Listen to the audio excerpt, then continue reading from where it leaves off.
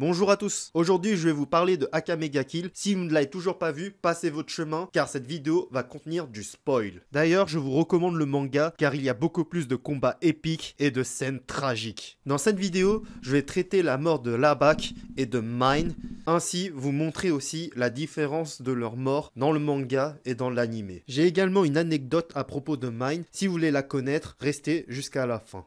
Traitons maintenant la mort de Labak dans l'animé. Je suppose que beaucoup d'entre vous l'ont vu, donc je vais pas rester longtemps dessus. Pour faire simple, Labak a fait un 1v1 contre le fils du ministre, Shura. Personnellement, j'ai adoré quand il l'a déglingué dans l'autre dimension. Shura faisait son arrogant en pensant qu'il était invincible, mais au final, Rabba l'écrase complètement. Franchement, il faut dire que dans l'animé, Labak a eu une mort glorieuse Certes, ça peut dégoûter certains d'entre vous de le voir mourir ainsi, mais c'est comme ça. On ne peut pas toujours survivre, surtout dans Akame ga Kill. J'ajoute aussi que Labak n'est pas mort transpercé par les lances, il est mort durant sa chute. Son cœur avait arrêté de battre au même moment que son arme qui s'est désintégrée. On peut dire que sa mort a été assez douce dans l'animé, mais dans le manga c'est tout le contraire. Sa mort a été l'une des plus cruelles de Akame ga Kill selon moi. Pour commencer, Tatsumi et Labak se sont fait capturer par Esdes. Puis, pendant son emprisonnement, Labak s'était fait torturer par le fils du ministre. Shura le forçait à parler et à révéler l'emplacement de la base du Night Red. Malgré ces tortures, Labak ne lâcha pas un mot. Shura l'écrasa même une de ses boules afin de le faire céder. Pendant ce temps, Tatsumi était en train de ken SDS. Non, je rigole. Mais si on était dans un vrai hentai, il serait en train de ken trois meufs en même temps, voyez En découvrant ça, Labak était en colère. Pendant que lui se faisait torturer, Tatsumi passait probablement un bon moment. Il était même sur le point de céder. Il était même prêt à révéler l'emplacement de la base, tellement qu'il était frustré et en colère. Mais au final, il ne le fit pas, car c'est un bon Night Red. Il se batta jusqu'au bout et il tua le fils du ministre avec ruse. En voulant s'échapper, Labak se fait tuer par l'un des épéistes de l'Empire. Ainsi, l'un de mes personnages préférés mourra dans la solitude et dans l'espoir d'avoir été utile à sa bien-aimée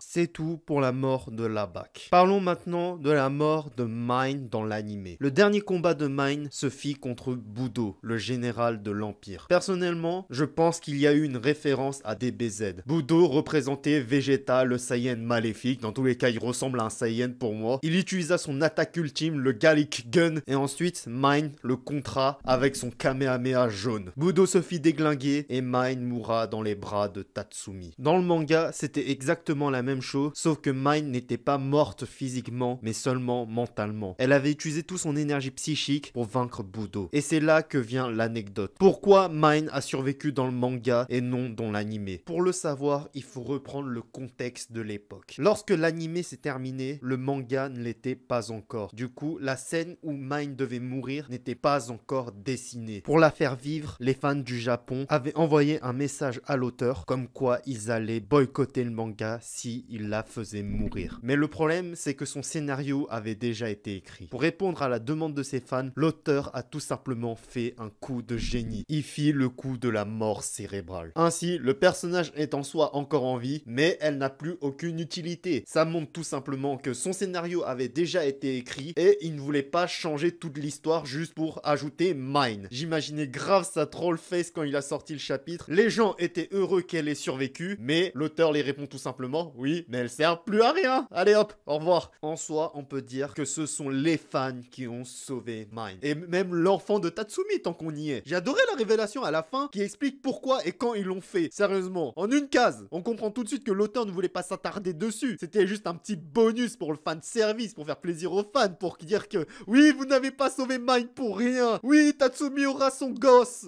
Ça, c'est ce que j'appelle un final fantasy à la Gintama. Si vous avez aimé cette vidéo, N'hésitez pas à vous abonner et lâcher un pouce bleu. C'était Nanashi Hachiniroku. A plus